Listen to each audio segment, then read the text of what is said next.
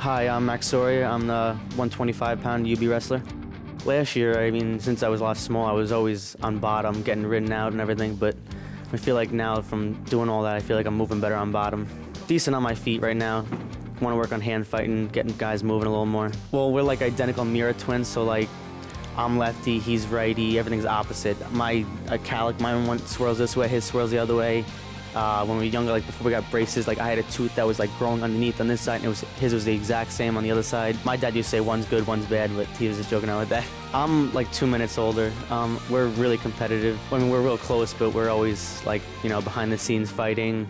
Sometimes even during practice, we'll try to like discreetly hit each other or something. But right now he's a little bit bigger than me, but you know he's little, he's injured right now. Years ago in high school, like our you know I mean not even high school, like seventh, eighth, ninth grade, we wrestled a few matches, but it started getting really serious. Like you know, if one of us won, we like wouldn't talk to each other for like a week, and we would always wrestle together. We were always stuck together. My parents want us to stick together. It's called free running, you know.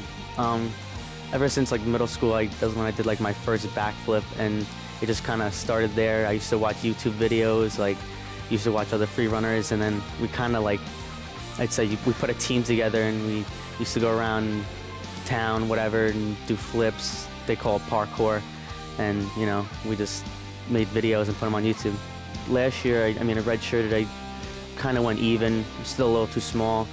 This year, I mean, I so far I have a winning record. I think I'm being a little tougher this year. Definitely feel stronger. We have a young lineup right now. A lot of progressions, you know, getting bigger and working hard and, you know, just going in the right direction.